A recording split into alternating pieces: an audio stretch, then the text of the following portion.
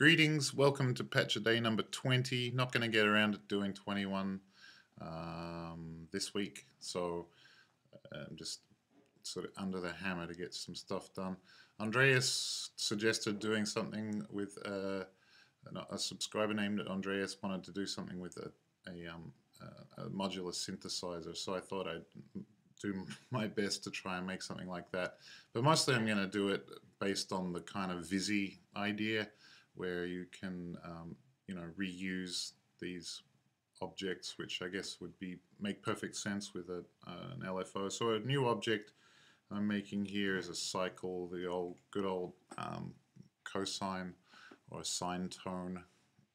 That's a nice place to start with your um, LFO. I'm making an LFO. All right, so I've got a cycle object, and I might have another. I might make a choice of two different um, oscillator types for the for the LFO. The other one might be a triangle um, with a 0.5 is the peak phase on that triangle. Um, the phasor is needed here. Phasor to drive the um, phase of that triangle. Because we're going to use a frequency input, we might as well start with one of those. So let's go with a uh, we'll go with a dial for the frequency. Um, I guess that'll work for an LFO because we're interested only in in um, low frequencies. I guess we will use comments here because we are going to use this um, as a B patcher so we won't see all of this stuff. We won't see the connections. Hopefully we won't see them. Um, every time I make a connection, here I'll select a patch cord, I can hit Command K, or that would be Control K on a, on a PC, and you can see that when we lock the patcher, the patch cords disappear. It's kind of similar to using presentation mode, but in I, I don't use presentation mode. So we'll call it LFO just so we can remind ourselves what, what it is that this thing is. Um, and I'm going to have some kind of selector to choose between these. Well, I'm just going to use a selector tilde to choose between these selected two so I can choose between the cycle object and the triangle object. And I'll use a U menu which I can maybe find in my um, palette. As the palette keeps growing I tend to lose track of where things are. So I'm going to make a U menu this way and open up the inspector. So command I or control I if you're PCing it um, and I'm going to put some menu items here. I'm going to say sine or try. That's our choice. Okay. So now our U menu will say sine and try, and this will be the number of that item chosen. So plus one on that will control this selector here to determine which one of those.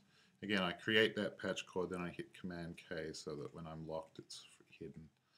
All right, very good. We're going to want to keep everything below a central area up here because that's where our um, that's where our B patcher is going to be focused on. And we can type the word shape up here, I guess, because that's pretty much the shape, the wave shape for the LFO. Um, and then I suppose we need some stuff here. I'll just drag, I'll just alt drag that to copy that over we'll call this width. We're going to do something with width, a couple of float boxes. So F for float, we can call, again, dra dragging that down, we can call that one low. and I guess take those two things, copy them, and call this high. So this is going to determine the low and high values in the um, LFO, what the LFO puts out. All right, so first thing I'm going to do is just, because both the cycle and the triangle um, range between negative 1 and 1, um, I'm going to just add 1 and just to make my whole maths world here easier, multiply that by, multiply tilde by 0.5. so we're dealing with um, signals in the range of 0 to 1.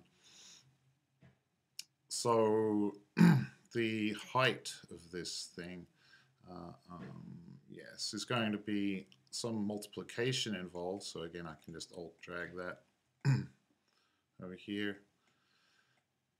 And we're going to use the high value. Actually, what we're going to want to do is to make a new object here where we can um, subtract the with a with a floating point argument, subtract the low from the high to get the to get the range. So we'll use a trigger bang F so that anytime whether I change the low or the high it performs this subtraction. So that's the high minus the low. And I don't think I command K those so I'll do that. Command K command K. And yeah we're going to multiply to get the, the this will be the range which is the high minus the low and then we'll just add so we'll change this to a plus tilde. We can just add the low and that should be gravy. So that should be now an oscillator coming out here in range 0 to well whatever we choose here um, as the range so we're going to put an outlet here I'll, I'll click up here so you can see what I'm doing choosing an outlet and that's going to be our LFO it's a pretty bad LFO, but you know what can you do? It was it was it was quick, right? So that's oh the other thing I suppose on most of these sorts of things, since we aren't going to see anything when we load this, we might want to load mess one so that when we first load the patch, at least what's showing in here, the sine will be what is actually coming out through that selector. All right, so I'm going to call save this thing and where I'm going to save it is actually kind of important now because you'll see when you, assuming you have uh, 5.1.6 or later uh, in Max that is, you'll see this whole new Vizzie environment um, which has its patches in one place and then it has the clippings in another. We'd want to do something similar here and create an, an a, a patches folder and then we're going to put clippings in a different folder as well. So I'm going to, just to get to there, don't know if you can do that on PC, but I'm going to save it over here in the patches, that's Max 5 applications, Max 5 patches, make a new folder, and I'll call it modular. That's, we're just putting them in here um, uh, so that so that when so that Max can Max can see them without having them in the, in the folder that you're working in so that anytime you use them, Max can find them. So we'll call this LFO patch. Very good.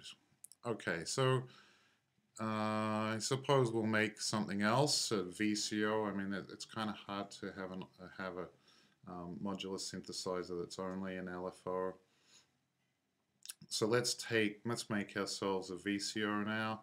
So we're going to have um, there's going to be some inlets to this thing. So I guess we could label those inlets in here. Frequency N. Um, yeah.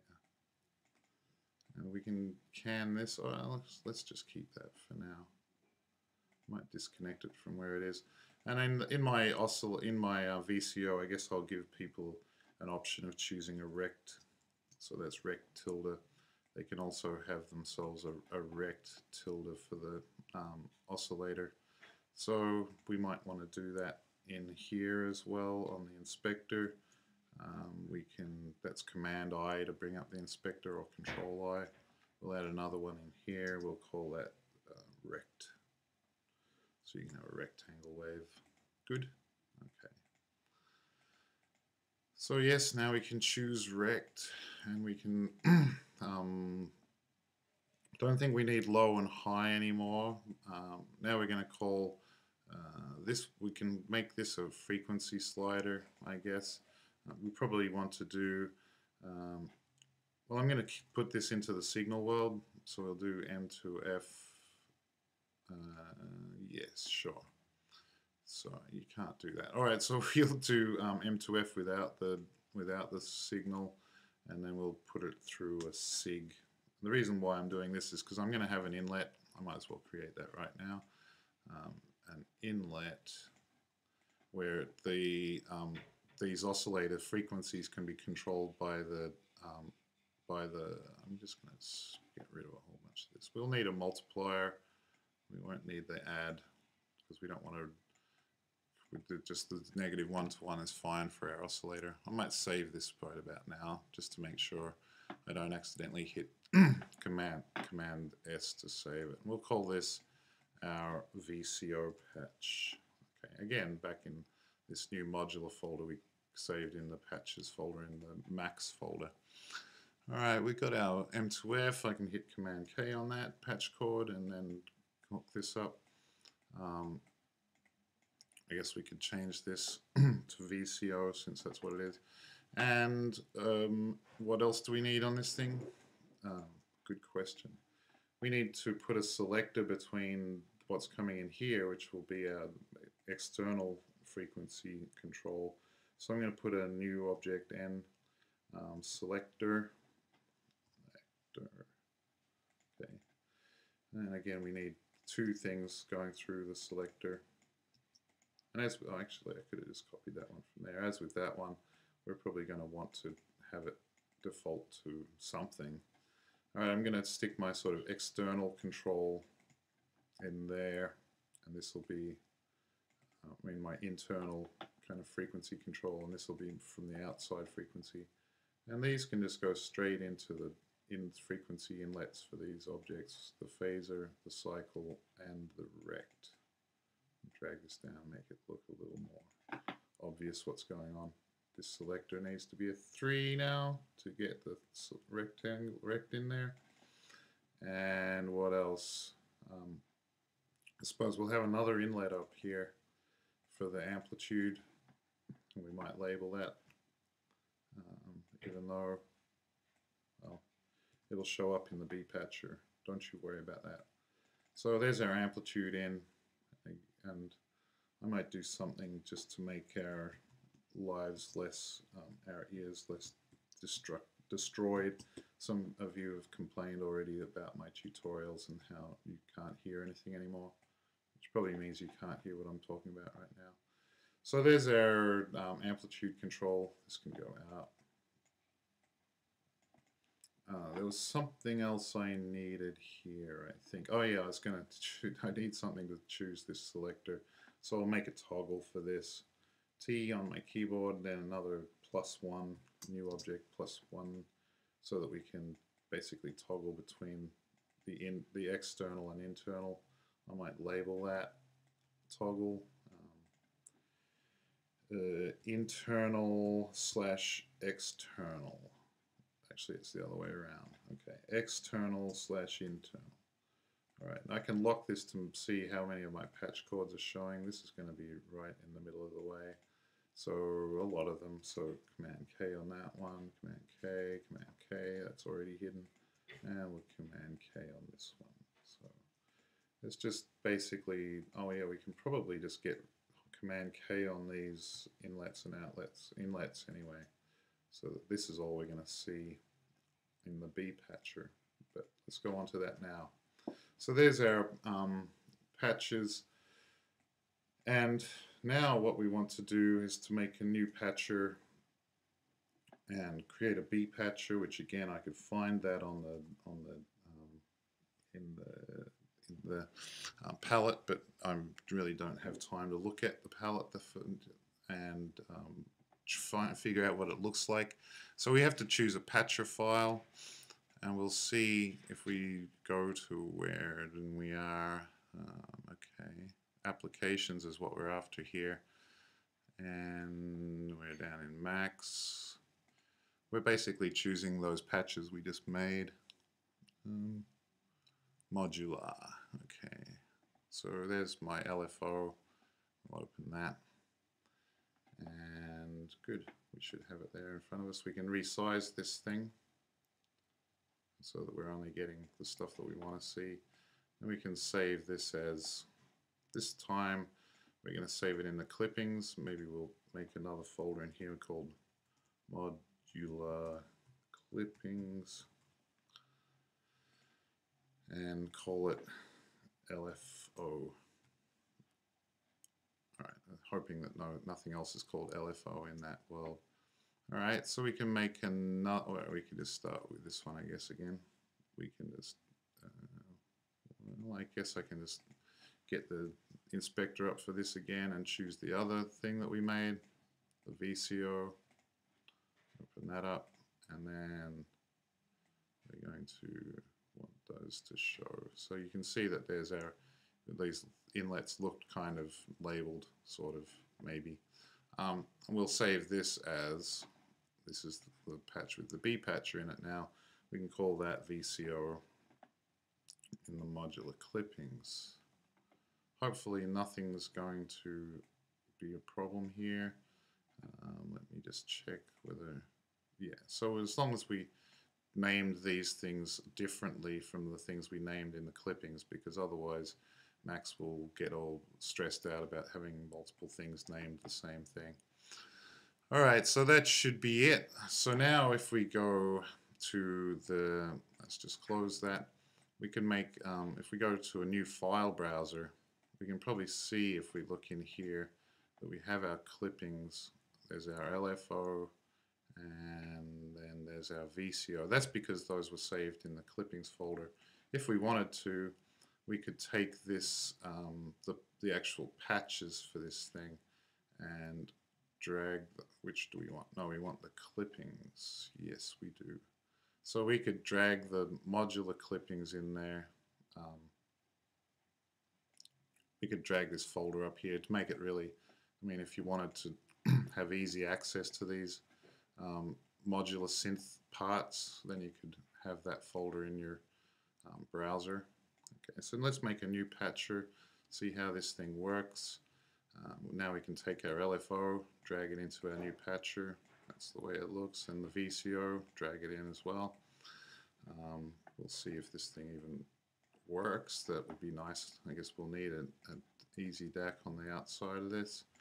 Uh, let's just try diddling around. This should be our, um, let's try internal frequency with a triangle wave. I think from when I remember playing with this, doing this a second ago, that you probably need the Ampian. We can do something to make that not necessary, probably.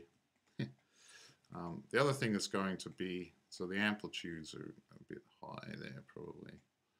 I don't remember if I put anything to save on this. No, let's just try hooking everything up. It's, I'm not I'm not confident that this thing's working quite yet. Um, oh yeah, we've got to turn on the, the, the something. Turn on the sound, yeah. Alright, so why? Okay, um, let's try the internal. Oh, sure, okay. So I'm using two LFOs, one to drive the frequency if I have this set to external. Oh yeah, these would want to have some kind of width, so 60 to 6,000, whoa. Alright, so the thing that you'd want to know after doing this um, would be how to save these as presets. And I you know so that you can actually save a synthesizer patch if you like. Um, we'll look at that. I'm sure you'd probably want to have um, an envelope in your in your VCO I'm sure there's a lot of things that you would want. Actually and, and just an envelope um, patch would be good for the Ampian on that. So that's that. Uh, uh, I'm guessing I might have rushed through that, but hopefully it'll give you some idea of how that whole clippings thing works.